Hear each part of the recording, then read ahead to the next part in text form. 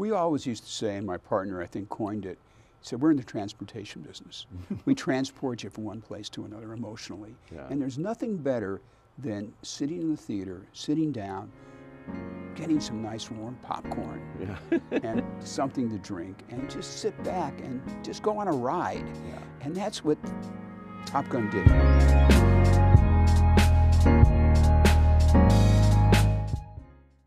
Why did you stand in my way? You weren't ready. Ready for what? Huh? Ready to fly like you? No. Ready to forget the book. Trust your instincts. Don't think, just do. You think up there, you're dead. Believe me. My dad believed in you. I'm not gonna make the same mistake. Welcome to Behind the Lens. And today, oh, what do you think when I mention some of these titles? Bad Boys, Beverly Hills Cop, Pirates of the Caribbean, National Treasure, Armageddon, Black Hawk Down, American Gigolo, Flashdance, Thief of Hearts, Days of Thunder, 12 Strong, Top Gun, Crimson Tides. I could go on all day, and that's just the movies. Uh, television, too. Welcome, Jerry Bruckheimer. Thanks so much. Producer of all those and so much more. What, what do you think when you hear th- this list? Your life passed before your eyes here. It's, it's been a long journey and I've loved every minute of it. It is an extraordinary Yeah, journey, really to be sure, in this business, in this industry, as it's changed. It seems like it's changing weekly now, but you know, as it's changed since you began, you know, all those decades ago. yeah, they thought the you know video cassette was going to end the business and nobody would go to the theaters again. We're still going to the theaters. We're back. Top Gun brought them back into the theaters uh, last year, which is fantastic. Uh, so people are still paying money for tickets and, and watching it with a whole group, which is the best fun of- of all. Are you still energized as you were when you started? Is it still exciting to you um, doing this? I love it. I Yeah. love it. I wouldn't. I couldn't do anything else. I wouldn't know how to do anything else. I'm very fortunate. I'm in this business and just thrilled to be here talking to you and be part of this Academy cam- campaign for Top Gun and. You know, you know, in the spotlight right now because of the nominations and the fact that it was the highest-grossing movie of the year last year and got the best reviews, and so it's a, a career moment. It was the perfect storm for this movie because it not only, as you might expect, be a box office uh, sensation, but critically, it was it matched that. You know, somehow it all came together on all fronts here, and now with six Academy Award nominations, and believe it or not, this is your first Oscar nomination It, it is, and I'm so thrilled that we finally got one. It's really nice. for Best Picture, obviously. Yeah, because it's it's about your peers and and the people who voted for Top Gun are a lot of them I've worked with because I've been around so long, and it's always nice to be recognized for people you work with and people that understand our business and understand the artistry of Top Gun, how difficult it was to get made, and and just the the fact that it took us what 35 years to bring it back was it was really a it was a a chore, but a lovable one. Yeah, you have tried, I imagine, with Tom Cruise at different points to try to bring this back. Not every movie, you know, waits 35 years for uh, a second edition, a sequel, whatever you want to call this. Top Gun Maverick, uh, Tony, the great Tony Scott, who is, you know, acknowledged with this on this film too, which is nice. Even your partner Don Simpson at that time on the original Sure. Top Gun, you have given credit here too. So you've kept that that knowledge of what the first one meant all these years. Yeah, because it was so hard to get it right the first time. You work so hard on these movies, and Don was such a big part of it, and Tony Scott, of course, directed it and did an amazing job. And Joe Kosinski is somebody who came in and paid homage to Tony, the way he shot it, the way he uh, uses lenses. He there was a lot of stuff that Tony initiated that Joe continued. Yeah. And you are producer here as well as your star, Tom Cruise, who is not a producer in name only, as some actors might be, but he's the real deal here. He's a much better producer than Oliver B. He's, he's, he's fantastic. He works so hard. He cares about the movie. He cares about every aspect of it. Uh, there's nothing that Tom doesn't doesn't put his hands on and make it better. Yeah. So why did it take this long? What what did you go through to make this finally happen? And did you ever think it's never going to happen, that maybe its time had passed. I never thought that. I'm, I'm always hopeful. I, I always feel that the, there's always a way to get something done. And Joe Kosinski and myself went to Paris. Joe had an idea on how to do this movie with with Goose's son, and we pitched it to Tom. And Tom said, "Look, it, I love this. We got to do it for real. We got to put the, the actual actors in the planes because we did it the first time. Yeah. Unfortunately, none of them could handle the G forces except for Tom. Right. We had some footage of Tom in, in the original movie, but he said this time we're going to train them. We're going to train them for three or four months, put them in different aircraft so they can handle the G forces. It was really a commitment from our actors to do that. Can you imagine spending all that time in these planes and they're I mean, they go up for two hours. They come down. They'd be soaking wet. If, if the director or Tom didn't like the footage, we sent them right back up again, and they did it all over again. So you got to give kudos to these actors who worked so hard to get this movie made the right way. I mean, it's really simple if an actor comes in and said, "Look, I, I really don't want to go up in a plane. Right. you know, you can just put me on a gimbal and I'll be very happy." Yeah. But our actors went in there full force and said, "I'm in for it. I'm in for this ride." Did they all say in their first meetings, "Oh, sure, I can do that," or all actors say uh, they can do everything? Right? I tell you, some actors were very honest. They said, "No, I just I have a fear of flying, yeah. and, and if you're going to put us up there, it's not for me." So that happens. But they were honest about it, which was great. Yeah, it's amazing. Top Gun Maverick has been nominated, I think, significantly as well for its screenplay, not only by USC, uh, uh, which is you know sometimes highfalutin in Right. what they pick, um, but also the Writers Guild and uh, at the Academy. Uh, uh, writers branch too. Normally that doesn't happen with a tentpole kind of movie like this. How come the script was so important, and why is it being recognized now? Script is always the most important thing. If you don't have a good script, you're not going to have a good movie. That's just the bottom line. If it's not on the page, it's not, as they say, not on the stage. But in this case, not on the screen. So between Chris McQuarrie and the rest of our writers, they just did a Herculean job to bring this, bring this home for all of us. Just the, the fact that you had to constantly change the stuff that was going on in the air.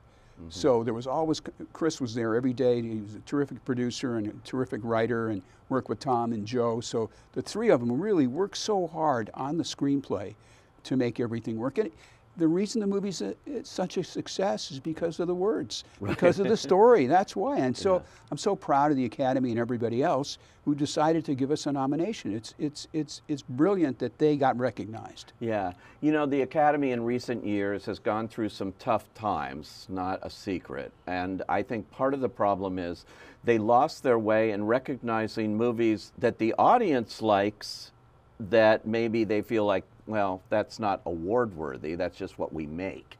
You know, let's nominate some small art house movie instead.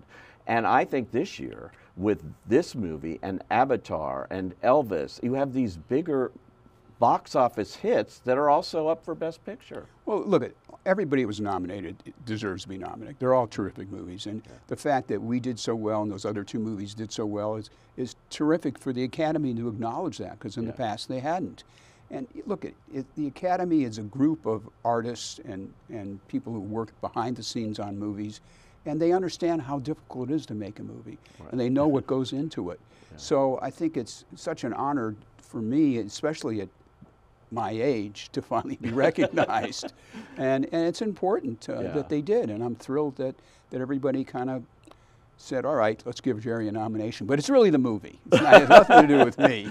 But it's important. I Yeah. mean, my God, you've won every award at Yeah. Producers Guild, Life Right. Achievement, the, the David O. Selznick, all, Right. every kind of award. I've interviewed you before for two hours on your whole career Right. at different things. So you've been through getting honors in this business. But now you're uh, getting honored for a specific film. Well, it's always about the work. And, and the work on this movie, the audience validated, the critics validated it, and now the Academy validated it just by nominating us. It, it's, it's just wonderful to be here with you talking about this. It's my first time to be doing this after making over 50 movies and been in this business over 50 years. So Yeah. It's been a long time coming. Did you ever think you would be? I mean, or did you, you know, I mean, with all this, is there a movie that you thought this is going to be a, Best Picture nominee? You never know. It's really up to the academy. Black. Hawk Down. Well, the, the director I think got nominated, if I'm not Yeah. mistaken. So that was a it's a wonderful movie. It also got excellent reviews, and it's a very poignant movie. Yeah. So I you know I felt bad for the fact that we didn't get nominated, but Yeah. look at they made up for it. They nominated Top Gun. That's nice. That's it. You know, when I'm looking at this, and I mentioned all these in the singular, but there have been so many sequels that you've done. If how important are franchises now? You know, in the old days, uh, producers would just do it once and go on to some other movie. Then at one point, franchises really took over the business. Well, studios always some love something that's pre-sold. Yeah. So, like we're doing, we just did another Beverly Hills Cop with Eddie Murphy. Yeah. And it's so great that Eddie's coming back Mm-hmm. to to to Beverly Hills Cop. That's what's so wonderful. It's it's for Netflix. Hopefully, we'll get a theater release too. Yeah. But that's up to them, not for me to say. So they loved Eddie in Beverly Hills Cop. Now they're going to get experience him again, and he's fantastic in the movie. We're going to do another Bad Boys uh, with Will and Martin. That's exciting for audiences. They're really keyed up to see that again. And we're going to start another movie with Joe Kosinski about F- Formula One, F1 that Brad Pitt's going to star in. Oh, so that- yeah. so that's coming up too. And there's a you know, talk about another Pirates, and there's talk about another National Treasure. So all these movies that audiences have loved, it's like having a piece of candy, a really good candy. You want another piece of it. That's it. And that's and that's what these movies bring you. Right. It's it's comfort food. It's you come in there, you know what you're going to get.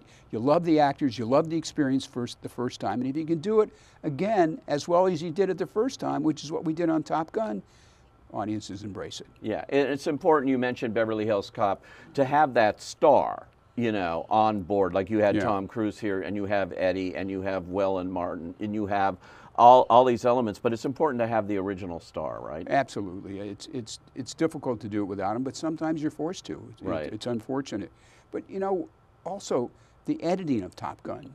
uh, You know, Eddie Hamilton, who, who I think got nominated, he had he had 812 hours of film to go through to create that story. Can you imagine the amount a mountain of work he went through Yeah, to, to make and the aerial sequence? I think he had 26 hours just of carrier footage. Wow. So to craft it and work, he worked so hard day and night to get this in shape so we could show it to an audience and eventually release it. And his work is brilliant.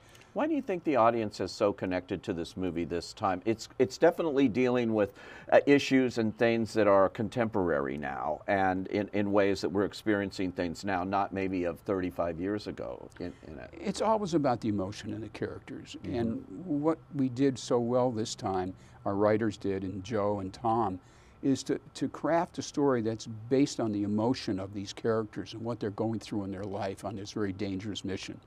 And, and the interpersonal relationship, the fact that Iceman is, is, has this crisis, and it's, it's just something that's so gets you to your core, emotional core. And people, when they see the movie, and I, I, when it first came out, I sat in the Chinese theater in the back and watched for the first weekend and watched an audience enjoy it. They were having the best time.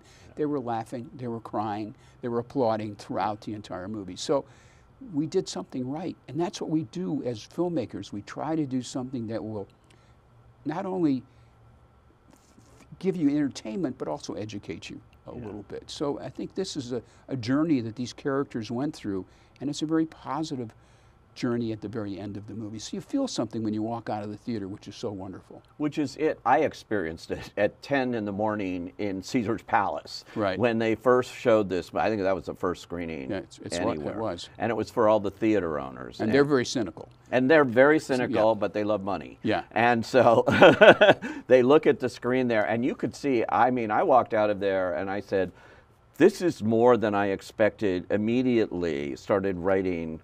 This is headed to the Academy Awards, which I never say about these kind of blockbuster things, particularly about sequels. So, but it got me emotionally, and I could tell it got that audience, that jaded audience in that Vegas. the, that was the goal. That was that's what Joe wanted to do, Tom wanted to do, Chris wanted. Everybody who worked on the movie was always keyed around the emotion of the characters and the journey they took. Yeah. That's the magic of the movie. All the flying and all the wonderful stuff we did, that's the icing on the cake. That creates more of the drama. But it's what the characters are going through, interpersonal relationships, and how they resolve their relationships at the end of the movie. Yeah, that's definitely true. It's a great cast beyond Tom, obviously, mm-hmm. too. And I love Jennifer Connelly in. Right, it. she's beautiful. That relationship, you know, it didn't bring back Kelly McGillis. You didn't try to, you know, rubber stamp the original movie, but find new ways in, I think. Yeah, I think the key to it was, of course, Tom. Tom is just works so hard. He's such a good actor. He should have been recognized. His work is so subtle. He should so have. He di- didn't get a Best Actor No, nomination. a- I and was surprised, actually. It's a shame because he certainly deserved it for that performance. Uh, but again, the movie stands on its own, and he's a big part of the movie. Obviously, he's the Yeah. he's the one who carried the sword for the film from the very beginning. Yeah.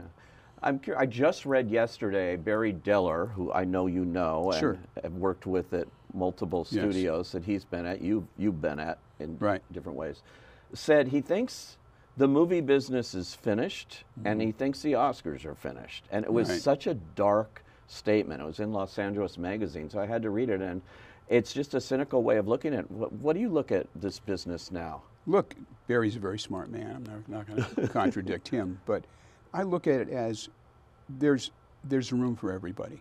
There's mm-hmm. room for streaming. There's room for theatrical, but it the, the audience is shifting, so you have to shift with the audience, mm-hmm. and you have to make movies that will draw them out of their house and go to that experience. And that's what we try to do. We try to make films that either have actors' stories or sequels that audiences really want to see in a group. Comedies are great, horror movies are great. You know, franchises like Beverly Hills Cop or Top Gun, or people want to see it together. It's a group experience, and it's a wonderful group experience. Yeah, and that's the secret. You sort of started this interview by saying they always said, you know, this is going to kill the movie business, Right. VHS, uh, and all of that's going to kill. Of course, originally television was going to kill That's the movie business. Nothing's killed it. We thought now the pandemic was going to kill the business, and you and Tom stood firm. I think you had five different release dates for this movie, I think you're hoping right. to get it out. Yeah. I have this analogy that I, I don't know if I picked up from somebody else, but you have a kitchen in your house, right? Mm-hmm. But you go out to eat. and it's the same thing with the movie business. You have a television in your house, you can watch streaming, you can watch network television, but every once in a while you want to go out. So we got to drag you out and give you something that's so special Right. that your friends say, you got to see this, you got to see it. And if it's not available anywhere else and you want to talk about it with your friends, you go see it. Right. And that's what happened with Top Gun. And that's why You I'm- stood firm on we, it. we stood firm, and it became a global hit. It's, the grosses foreign were larger than domestic, without China and without Russia.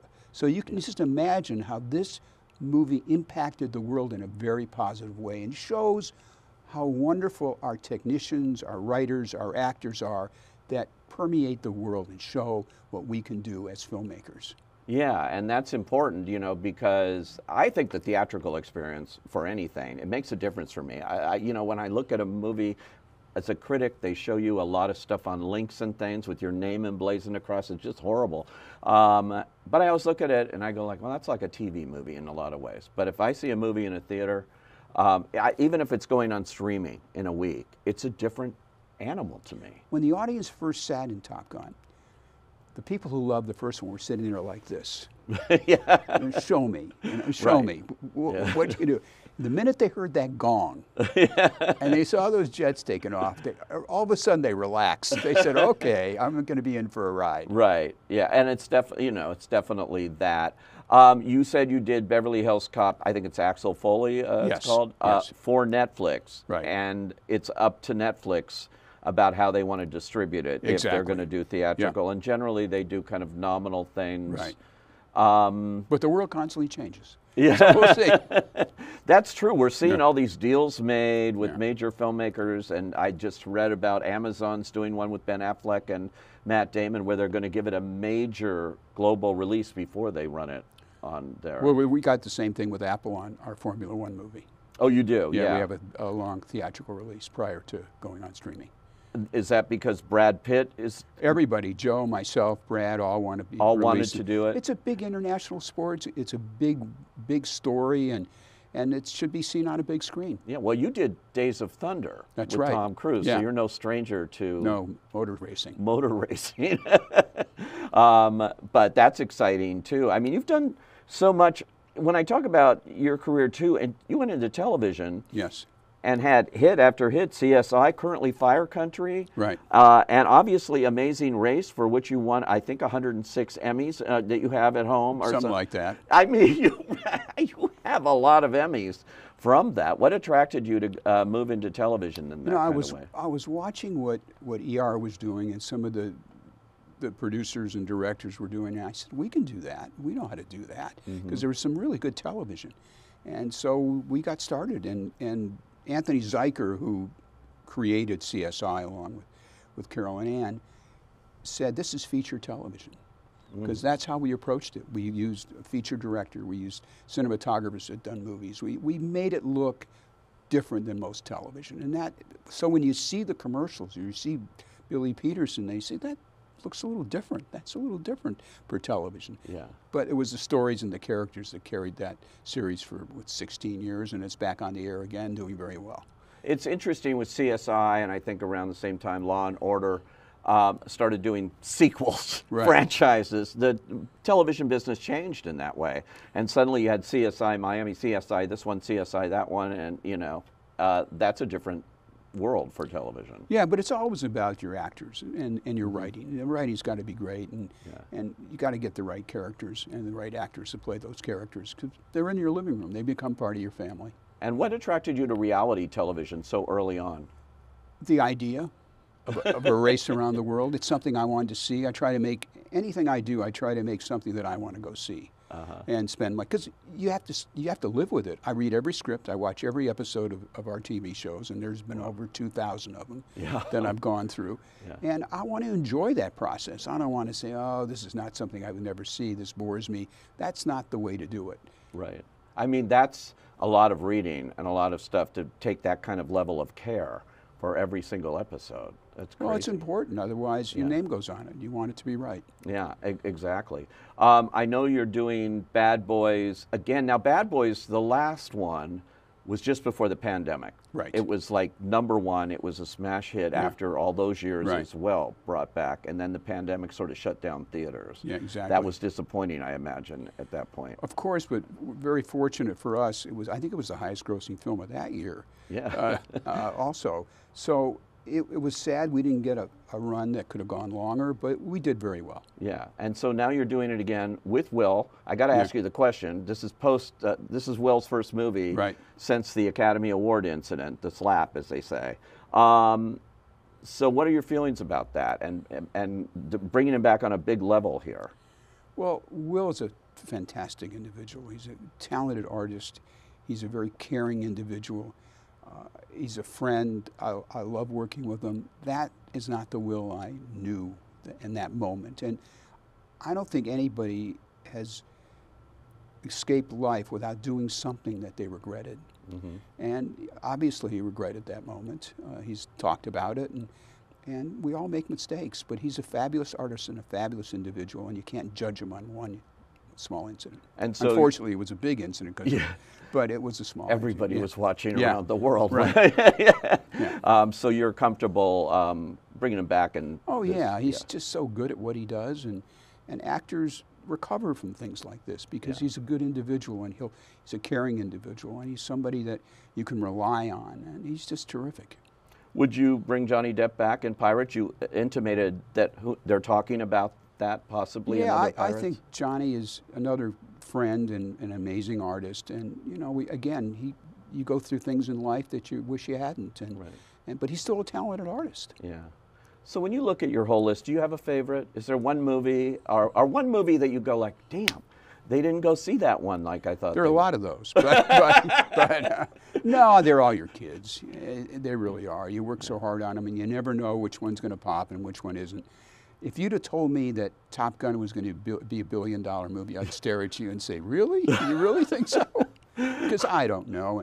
The only people that know is the audience. When they go see a preview or they, and, Top Gun previewed very well, but it wasn't our highest previews. But yet, it's our highest grossing movie. So it's very deceptive previews sometimes. Sometimes you can have a fabulous preview and nobody goes to see the movie, and vice versa. You can have an okay preview. And we had a very good preview, but I've had ones that were through the roof, and sometimes people didn't come. so you don't. just don't know. Yeah, it's always tricky Yeah. in that, I think, you know. uh, research in general, I think, is tricky. It you is, because you're asking, you're sort of leading the audience to. When we did the first Top Gun, we screened it in Houston, and it was right after the shuttle disaster. Yeah. So we're sitting in that theater, and it's dead silence. There's no applause. There's no laughter. There's nothing going on. Yet when we got the results, they loved the movie, but they emotionally couldn't respond in a verbal way. Right. But again, you, you never you sit there and you're, you're sweating because nobody's moving and, and nobody's laughing, and then you find the results, and it was great.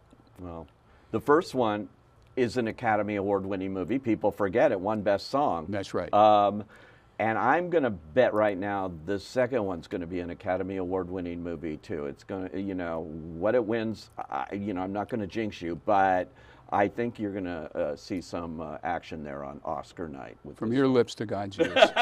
Please. Jerry Bruckheimer, thanks so Thank much. you so much for having me. It's always a pleasure to be interviewed by somebody who understands our business and, knows how to interview and ask intelligent questions. Oh, it's, uh, thank it's so you. nice. You do your homework, which is, which is sometimes rare. well, we try.